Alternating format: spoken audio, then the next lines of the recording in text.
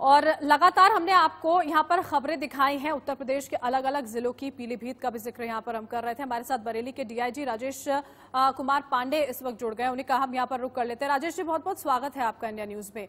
जिस तरह का मॉडल पीलीभीत में पेश किया गया, वाकई में काफ़ी सराहनीय काम वहाँ पर हुआ। अभी मौजूदा स्थिति की अगर हम बात करते हैं, पाँच ऐसे और ज़िले हैं सर जो कोरोना मुक्त उत्तर प्रदेश में हो गए हैं। अभी जो स्थिति है, वो कैसी है?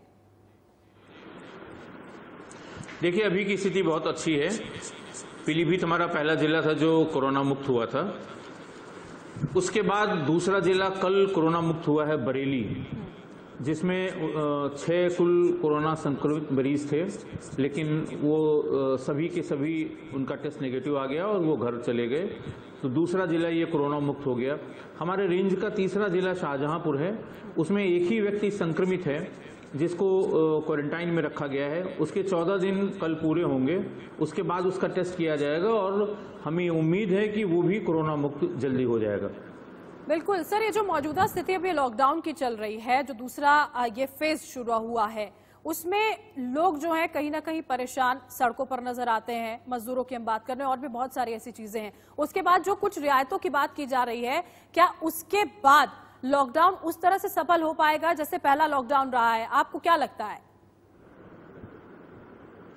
देखिए सफल होगा जो जब लोगों की जानकारी में अब आ गया है। देखिए शुरुआत में ऐसा हुआ था कि लोगों को ये जानकारी नहीं थी ये कोरोना वायरस क्या है क्वारंटाइन क्या है सेल्फ क्वारंटाइन क्या है कैसे फैलता है क्या इसकी चेन है हवा से फैलता है पानी से फैलता है बिल्कुल जानकारी नहीं थी। तीन चार दिनों में धीरे धीरे जब जनता को इसके बारे में जानकारी हो गई तो जनता ने स्वयं अपने आप को सोशल डिस्टेंसिंग को स्वयं फॉलो करने लगे। आपको एक छोटा सा एग्ज़ाम्पल ये बताएँ हम।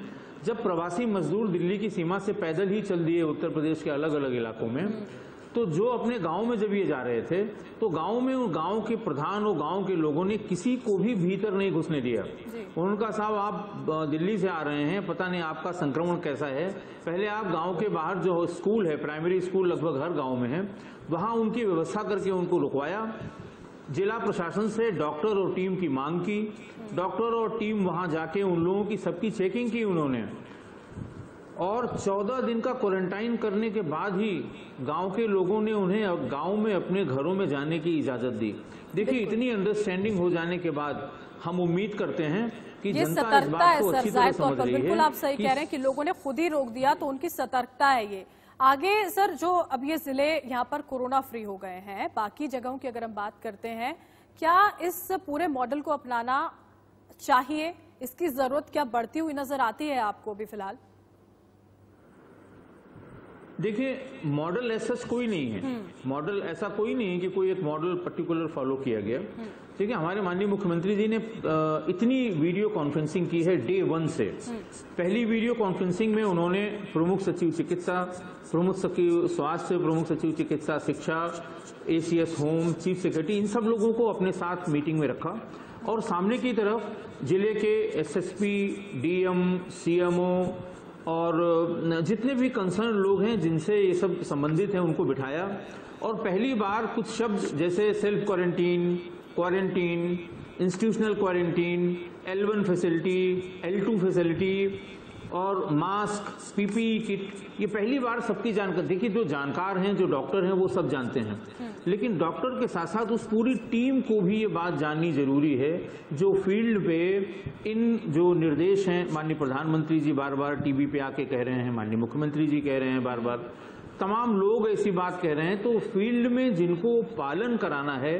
उनकी भी जानकारी में ये सारी बातें जब होंगी तो एक टीम वर्क की तरह आदमी काम करेगा और इन सारे निर्देशों का धीरे धीरे सर ये पूरे मॉडल्स अपने आप में बहुत कारगर साबित हो जाएँगे सफल भी हो जाएँगे अगर आप जो सब काम कर रहे हैं उसका समर्थन साथ दे दे जनता पूरी तरह से एक आखिरी सवाल सर मैं आपसे ये पूछना चाहती हूँ कि मुख्यमंत्री योगी आदित्यनाथ ने कहा कि कार्ड धारक हो या ना हो, राशन सबको मिलना चाहिए इसके बाद किस तरह से वो पूरा काम किया जा रहा है ताकि कोई भूखा ना सोए, जो सबसे बड़ी प्राथमिकता यहाँ पर नज़र आती है मुख्यमंत्री की देखिए, माननीय मुख्यमंत्री जी ने जिस दिन से राशन की डिलीवरी, फ्री राशन की डिलीवरी होनी थी, उसके एक दिन पहले भी वीडियो कॉन्फ्रेंसिंग की। वीडियो कॉन्फ्रेंसिंग में उन्होंने सबको स्पष्ट निर्देश दिए कि कल से सरकारी सस्ते गले की दुकानों में फ्री राशन बांटा जाएगा।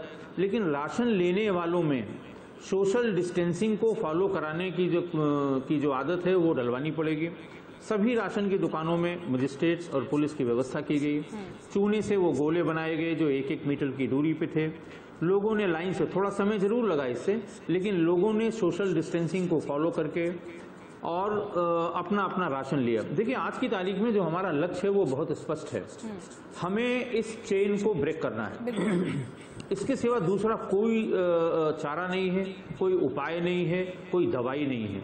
तो जब तक जब तक हम सोशल डिस्टेंसिंग को फॉलो नहीं कराएँगे इवन कोरोना मुक्त होने के बाद भी हमें सोशल डिस्टेंसिंग को स्ट्रिक्टली फॉलो करना पड़ेगा ताकि हम उस चेन को डिसकंटिन्यू बिल्कुल सकें। इसका ख्याल यहाँ पर रखना होगा भले ही अब वक्त वो जल्दी आए कि पूरी तरह से देश दुनिया कोरोना मुक्त हो जाए लेकिन एहतियात लगातार बरतने होंगे ये बहुत महत्वपूर्ण बात सर आपकी ओर से कही गई है। बहुत बहुत शुक्रिया आप हमारे साथ जुड़े और ये तमाम बातें और जानकारियाँ जो हैं वो आपने यहाँ पर